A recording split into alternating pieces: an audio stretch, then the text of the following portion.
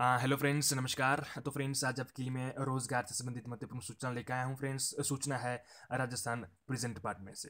तो फ्रेंड्स, वहाँ पर जो है छः सौ सत्तर पदों के लिए आवेदन मांगे गए हैं। ठीक है गाइस तो फ्रेंड्स आगे बढ़ने से पहले आपसे मेरी रिक्वेस्ट है कि आप मेरे वीडियो को लाइक करें शेयर करें और जो मेरा चैनल उसे आप सब्सक्राइब करें देन आप बेल आइकन भी ऑन करें। ठीक है गाइस और तो फ्रेंड्स अब मैं आगे बढ़ता हूँ। तो फ्रेंड्स अगर हम बात करें स्टार्टिंग डेट फिलअप करने की फॉर्म की तो फ्रेंड्स वो छब्बीस सात, यानी कि स्टार्ट हो चुकी है। ठीक है? छब्बीस जुलाई के बाद आप इसके लिए अप्लाई कर सकते हैं। तो फ्रेंड्स लास्ट डेट जो है फ्रेंड्स वो जो है सोलह अगस्त तक है। ठीक है? तो आप सोलह अगस्त तक इसके लिए अप्लाई कर सकते हैं ऑनलाइन ढंग से। ठीक हाँ? तो फ्रेंड्स अगर मैं पौधों की बात करूँ तो फ्रेंड्स टोटल पद रहेंगे छः सौ सत्तर। तो फ्रेंड्स यहाँ पर आप देख सकते हैं कि पौधा का विभाजन किस तरह से किया गया है। तो फ्रेंड्स किस कैटेगरी के लिए किस तरह से पद आरक्षित किए गए हैं, ठीक है? तो फ्रेंड्स यहाँ पर आप देख सकते हैं कि आप जो ऑनलाइन ढंग से जो आवेदन कर सकते हैं। देन फ्रेंड्स अगर मैं बात करूँ तो परीक्षा शुल्क की। तो फ्रेंड्स इसके लिए अगर आप रिज़र्व कैटेगरी से फ्रेंड्स आपको फोर हंड्रेड रुपीज़ पे करने होंगे। फ्रेंड्स अगर आप अनरिजर्व कैटेगरी से बंद रखते हैं तो आपको फाइव हंड्रेड रुपीज़ पे करने होंगे। ठीक है, यहाँ पर मैं आपका ध्यान खींचना चाहता हूँ। तो फ्रेंड्स अगर आप जो है अदर स्टेट से फॉर्म भर रहे हैं तो फ्रेंड्स आपको जो है, फिर जनरल कैटेगरी में रखा जाएगा। ठीक है? तो फ्रेंड्स कहने का मतलब यह है कि आप जो ऑल इंडिया से कहीं से भी इसके लिए अप्लाई कर सकते हैं। ठीक है?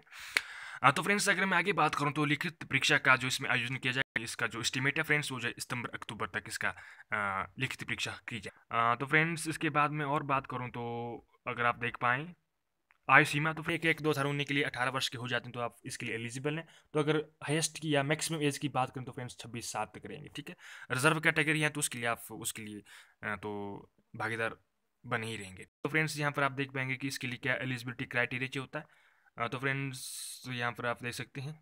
तो फ्रेंड्स, कुल मिलाकर अगर परीक्षा की बात करें तो पाँच सौ मार्क्स की। फ्रेंड्स, जिनमें जो आपकी लिखित परीक्षा जो है चार सौ और तो फ्रेंड्स, शारीरिक दक्षता परीक्षा जो है सौ मार्क्स की होगी, ठीक है? तो कुल फाइव हंड्रेड मार्क्स की आपकी परीक्षा की जाएगी। और तो फ्रेंड्स यहाँ पर आप देख पाएँगे किस तरह से जो इसमें दो घंटे का समय होगा परीक्षा के लिए तो फ्रेंड्स ऑब्जेक्टिव टाइप के आपको क्वेश्चन आएँगे देन आप यहाँ पे देख सकते हैं कि आपको किस तरह से पढ़ना होगा, कि आपका सिलेबस रहेगा, ठीक है? आप यहाँ से अच्छी तरह से पढ़ सकते हैं।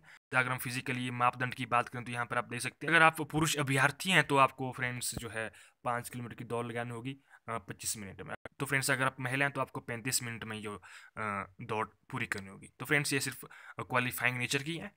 तो फ्रेंड्स, यहाँ पर आप अच्छी तरह से देख सकते हैं। तो फ्रेंड्स, आप फॉर्म भरने के लिए इस वेबसाइट पर विज़िट कर सकते हैं, ठीक है? देन फ्रेंड्स, आप जिस वीडियो के डिस्क्रिप्शन से भी डाउनलोड कर सकते हैं। तो थैंक यू फ्रेंड्स, बाय।